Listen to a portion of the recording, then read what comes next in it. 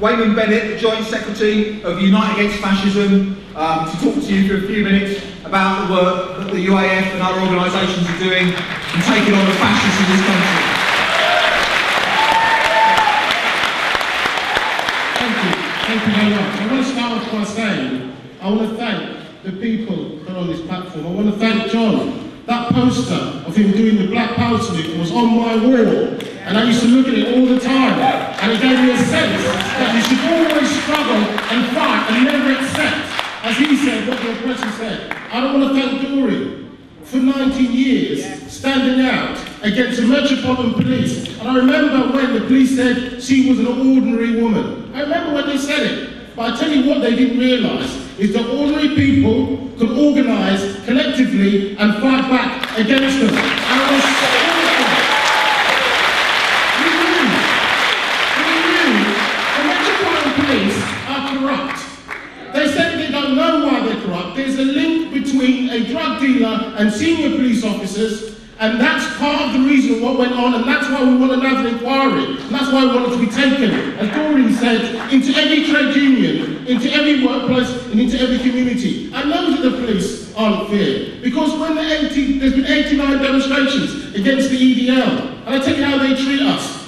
The, according to the Home Office, the EDL is a human rights organisation. Oh, so you can call for killing and burning down Muslims. When they meet the UAF, they say, you're a left-wing troublemaker, people that want to bring problems to our streets. Well, why don't you stay at home? They don't send that same message to the EDL. They spend millions of pounds telling people to stay at home, and the only people that don't say to stay at home are the, uh, are, are, are, the racists. I want to say this, we defeated the um, BNP.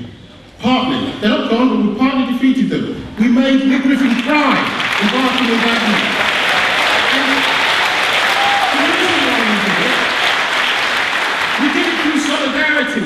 We did it through organising and proving to them that black and white unity and in struggle you can break them. We broke the National Front in the 1970s with the Anti-Nazi League and Rock Against Racism. We broke them.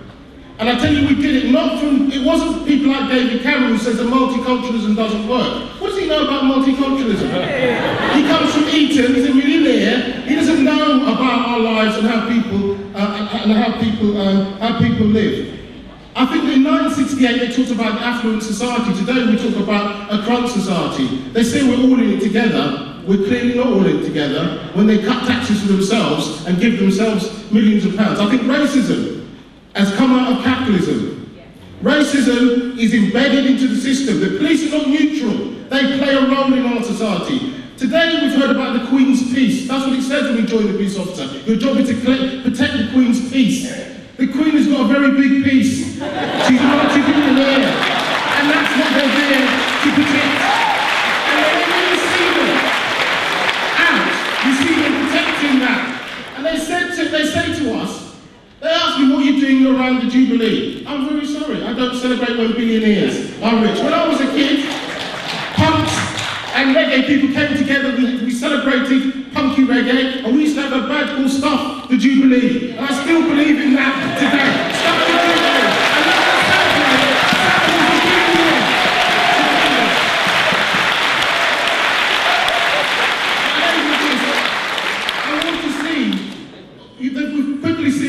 of the Leveson inquiry, and they say, you know, the truth is, when you see a horse coming towards you, how did Wade get that horse? Most of the time we see a horse being ridden over us when we're on demonstrations. There was a link between the police and the media. When Smiley Culture was killed, they immediately started to rubbish it. There's a link between these people. The people at the top of our society use it to protect, uh, protect themselves. But I think we've got something else to, uh, something else to say. I saw the riots.